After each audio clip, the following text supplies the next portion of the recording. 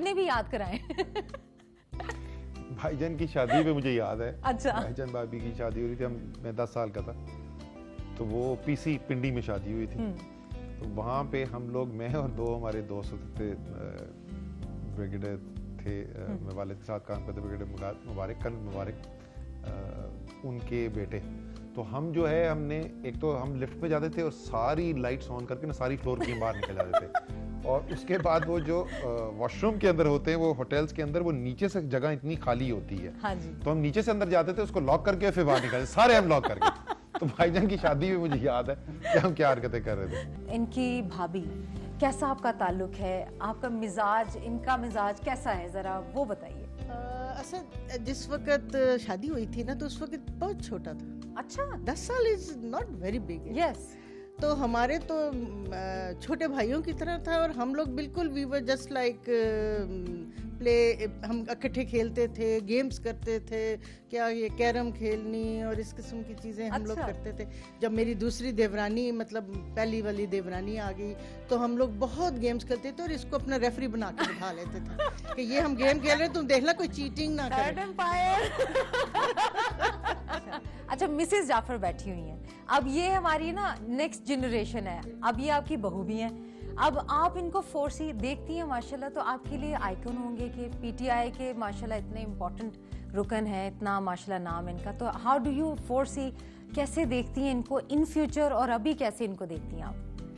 जी माशाल्लाह से आ, अपने बच्चों को तो मैं इन्हीं की मिसाल देती हूँ। हम्म। जी मेरे तीन बेटे हैं माशाल्लाह से। माशाला। और आ, हमारे लिए तो पूरी फैमिली के लिए एक मिसाल है। अच्छा एक और बात मैं ऐड करना चाहूँगी। चचा जो है वो अब बेबी रहे अपनी अम्मी के लिए। ना? इतने बड़े होके भी ना बेबी रहे अपनी अम्मी के लिए। क्योंकि मैंने सुना है ये अम्मी अपनी अम्मी से बहुत लाडियाँ करते थे। है ना? ये छुपा ली बात इन्होंने ज़्यादा लाडियों वाली। अच्छा पीटीआई पीएमएलएन की वोटिंग कराई जाए तो फैमिली के अंदर आपका कोई ऐसा प्लान बनाया है कि पीएमएल और पीटीआई की वोटिंग करा दें इन हाउस हमारी माशाल्लाह बड़ी फैमिली है जैसे मैंने बताया था सात सिबलिंग्स हैं उनके बीस से ज़्यादा बच्चे हैं।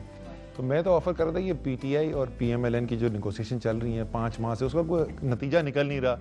तो मैं बोला था जी एक फैमिली है उसके अंदर पीएमएलएन के भी लीडर हैं पी पीटीआई के भी लीडर हैं हमारी फैमिली में वोटिंग करा दें। सही। अगर दो तिहाई से कम वोट पीटीआई को पड़े तो हम नून लीग की बात मान जाएँगे। क्या बात तो फिफ्टी फिफ्टी नहीं दो तिहाई। ज़बरदस्त। शादी अरेंज थी लव थी लव कम अरेंज शादी जो ज़ाहिर है वो रिश्ते जो है अम्मी लेके जाती थी मुझे याद है जब मैंने पहली दफ़ा फ़ोन पे बात की जब मैंने फ़ोन रखा ना तो अम्मी ने बोला नाम क्या है? मैंने ऐसे देखा कहती बेटा रिश्ता मैं नहीं लेके जाना नाम क्या है? तो क्लास फेलो थी या जूनियर थी? नहीं वो मुझसे दो साल जूनियर थे। हमने join I B same time पे किया था। उन्होंने फोर ईयर जो बीबीए प्रोग्राम था तीन साल बीबीए और एक साल एमबीए और मैं डायरेक्ट एमबीए प्रोग्राम उनकी कोई ऐसी आदत जो आपको बहुत प्यारी लगी हो? सत्रह साल जो है वो हम बी एमडब्ल्यू मर्सिडीज चलाते रहे। हम्म। अब वो सिविक में फिरती है। अच्छा। जो काम सारे ज़ाहिर है वो ऑफ़िस का अपना स्टाफ होता है सेक्रेटरी सब कुछ everything is taken care of घर में कोई एसेट जो है वो खराब हो गया ठीक कोई चीज़ वो सारा काम उसको करना पड़ता है। कभी एक दफ़ा कंप्लेन नहीं आई। अभी जो धरना चल रहा था वो सीवीयू के धरने में सत्तर दिन से ज़्यादा वहाँ धरने में जाके बैठी। वहाँ पे ना इमरान खान होता था ना कोई बड़े लीडर होते थे उसके बावजूद सत्तर दिन से ज़्यादा वो वहाँ पे आके बैठी। वो तकरीबन तमाम बड़े जलसों में पहुँच और नीचे वो आवाम में होती है। वो स्टेज पे नहीं होती। यहाँ पे क्योंकि पिछले साढ़े चार महीने पाँच महीने तो वर्चुअली में बिल्कुल बिल्कुल ही नहीं ट्रैवल कर पा रहा था। इस्लामाबाद से बाहर कराची नहीं जा सक रहा था। तो वो आती थी। अ, तो अच्छा। वो जो असल जो ज़्यादा जिसने हिट ली है इस चेंज की वो तो मेरी बीवी है। और हंड्रेड परसेंट कमिटमेंट के साथ। इकोनॉमिक्स की टीचर है। अच्छा। मेरा इकोनॉमिक्स में इंटरेस्ट है तो वो कॉमन इंटरेस्ट हमारा बहुत ज़्यादा है।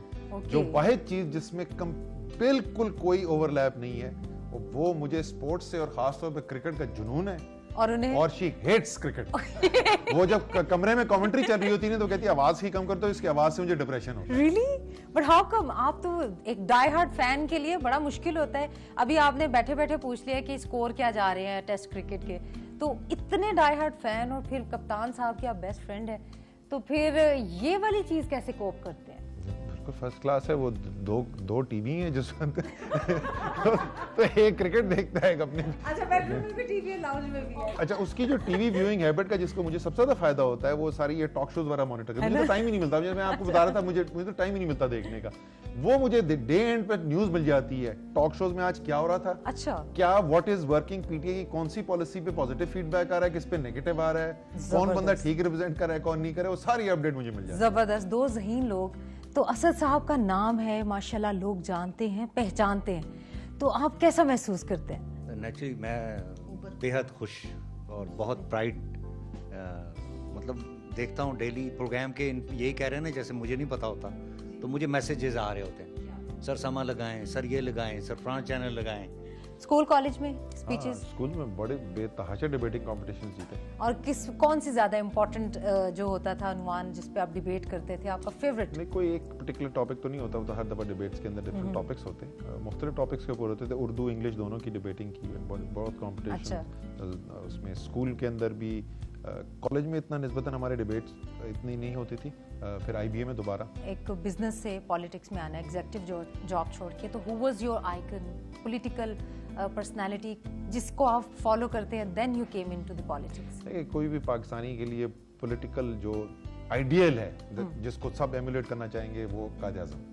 Back to the time जब जवानी थी कॉलेज था और फिर फ़िल्म भी देखते थे हीरो हीरोइन भी होते थे। किसको ज़्यादा पसंद करते थे? हीरो कौन आपका होता था फेवरेट हमारे बचपन में जो मूवी में उस वक्त जो टॉप के हीरोज होते थे Paul Newman Robert Redford Marlon Brando ये लोग हैं। उसके बाद जो नेक्स्ट जनरेशन आई उसके अंदर Robert Duvall Jack Nicholson Robert De Niro ये great. Hero Dustin Hoffman mostly English movies देखता था हम्म। पाकिस्तानी मूवीज़ भी देखी मोहम्मद अली अबीद मुराद बारा की मूवी देखी।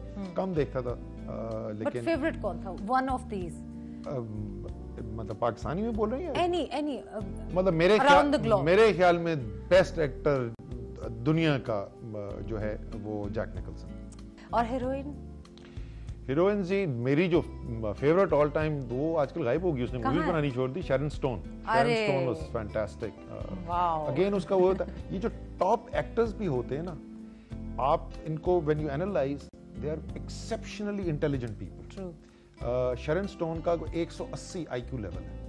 और सिंगर्स सिंगर बड़ी वैरायटी हर किस्म गज़ल मेहदी हसन अमेजिंग कवाली नुसरत फतेह अली और अमजद अपने गुलाम फरीद साबरी वो कमाल के थे।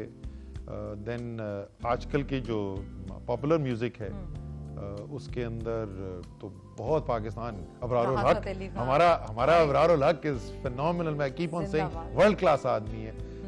इसके अलावा आतिफ- असलम अताउल्लाह ईसा खिलवी इज़ आइकॉनिक पाकिस्तान में music talent is amazing madam of course अच्छा वजारत मिलती है तो कौन सी वजारत लेते प्रेफरेबली कोई भी वज़ीर फिर सियासत में क्यों आया मैं, मैं बताता हूँ बहुत ज़बरदस्त सवाल है मेरी जो बीवी के साथ डील हुई थी मैं कहा यार देखो इस वक्त ये इमरान खान कह रहे हैं ज़रूरत है साल बाद इलेक्शन होंगे एक साल पॉलिसीज़ बनाते हैं सो मैंने हेल्प की। कुछ चार पाँच पॉलिसीज़ जो हैं मेजर पॉलिसीज़ जो पीटीआई की बनी वो उनकी कोऑर्डिनेशन मैंने लीड की। वो बनाएँगे उसको। मैं नेशनल कैंपेन मैनेजर बन गया। इलेक्शन लड़ा के इमरान खान को वज़ीर अजम बना के उसके बाद I will do what I really want to do which is watch a lot of cricket आराम से बैठ के क्रिकेट देखा करेंगे। सो वो अभी जरा सा प्रोजेक्ट जो है वो पोस्टपोन हो गया है। पाकिस्तान में हकीकी जमहूरियत कैसे आएगी? आप क्या समझते हैं? वो हकीकी जमहूरियत क्या है? देखिए ये तो मैंने आज जो दिन में पहले भी बात कर रहे थे ना हकीकी जमहूरियत उस दिन पाकिस्तान में मैं मानूँगा आ गई है जिस दिन पाकिस्तान के अवाम के हाथ में इख्तियार आएगा। तो ये लोग जो है क्योंकि ये चंद लोग हैं ये चंद हज़ार खानदान है जिसने पूरा कब्जा किया हुआ है मुल्क के ऊपर। ये इतने कमज़ोर आपको नज़र आएँगे कि आपको पता ही नहीं चलेगा कि कौन कौन किधर की फ्लाइटें पकड़ के भाग रहा है इधर से। So, जिस दिन पाकिस्तान के अवाम ने फैसला कर दिया वो क्या बोलते हैं जी? हम नहीं तो कौन अब नहीं तो कब? वाह। तो तो जिस दिन हम हमने ये फैसला कर दिया समझ लें आप नया पाकिस्तान बन गया। क्या बात है। हम नहीं तो कौन अब नहीं तो कब? असद उमर साहब के साथ इंटरव्यू था आपने देखा। Thank you so very much Asad साहब। Thank you so much brigadier Khalid साहब आपकी फैमिली बहुत बहुत मज़ा आया आज का दिन। हमने देखा पीटीआई के रुकन असद उमर साहब उन्होंने लोगों की शिकायत सुनी और हम गए। हमने देखा उनको क्या मुश्किल है लोगों की। सो so, आपने देखा कि पीटीआई के रुकन असद उमर साहब कैसे दिन गुजारते हैं उनकी पर्सनल लाइफ क्या है उनके बारे में थोड़ा बहुत जाना। सोफिया मिर्ज़ा को दीजिए इजाज़त। समा के मेहमान में एक और मेहमान से मुलाकात होगी। अल्लाह।